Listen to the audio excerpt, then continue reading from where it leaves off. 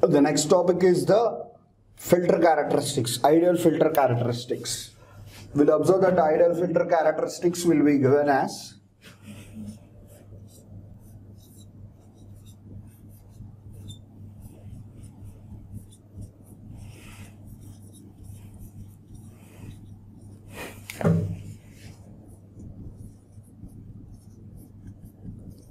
Generally, the ideal filter means where it has the ideal characteristics that it should be present for a particular cutoff frequency.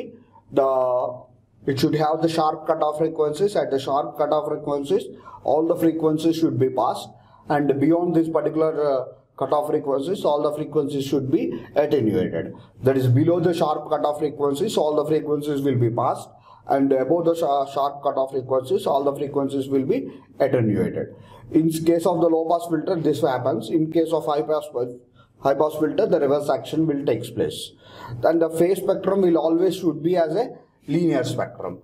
Therefore, generally these ideal filters can be divided into the four types as ideal low pass filter, ideal high pass filter, ideal band pass filters, and ideal band rejection filters.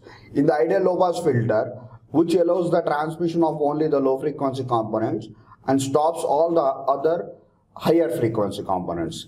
That is the mod of h of omega is equal to minus omega c to plus omega c, which amplitude as 1. That means for this particular frequency, that is minus omega c to plus omega c, those frequencies will be passed and beyond this omega c, all the frequencies will be stopped. That's simply called as a low pass filter. Below the omega c, all frequencies being passed means all the low frequencies will be passed and uh, above the omega c all the high frequencies will be attenuated. That's uh, it been stopped. Next one is and the linear phase spectrum which appears as theta of omega which uh, for the positive omega it will be the negative. For the negative omega it will be the positive. It's a linear curve passing through the origin. That theta of omega is equal to minus omega into td next one therefore the h of mod of h of omega will be written as will be written as 1 for minus omega c less than or equal to omega less than or equal to omega c.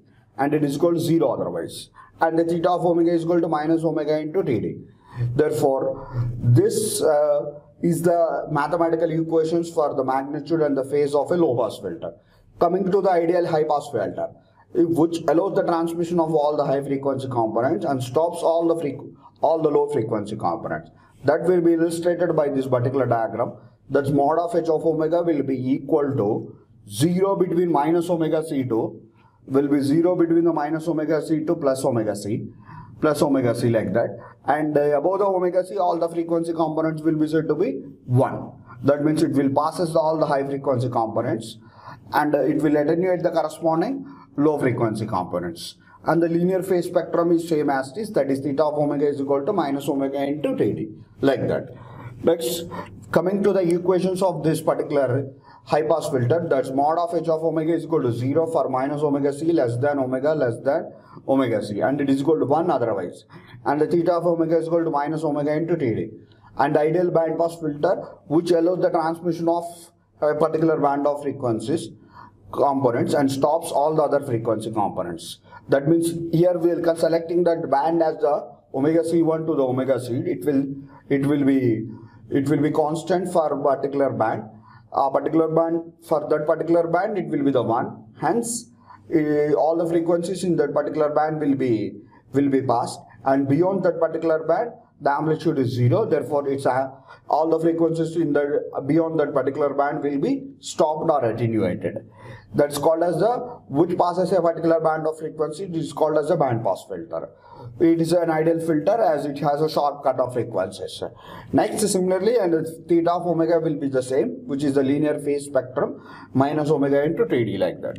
And the expression for that uh, that mod of h of omega is equal to 1 for omega c1 less than mod omega less than omega c2 in that particular band only it will be 1 otherwise it is been said to be 0 and the theta of omega is equal to minus omega into td and the ideal band rejection filter characteristics which rejects the transmission of only a particular band of frequencies and passes all the other frequency components which rejects the components between omega c1 to omega c2 and it will be passed all the other frequency components from omega c2 to omega 1 like that Next, next when we see the characters, the mathematical expressions for this uh, ideal band rejection filter, that mod of h of omega is equal to 0 for omega c1 to omega c2 and is equal to 1 otherwise. And theta of omega is equal to minus omega td. And this is the expressions for the magnitude and the phase spectrum of the ideal band rejection filters. Next coming to the uh, another filter called as the all pass filter where it allows all the frequency components. From minus omega c2 plus o, from minus infinity to plus infinity all the frequencies will be passed.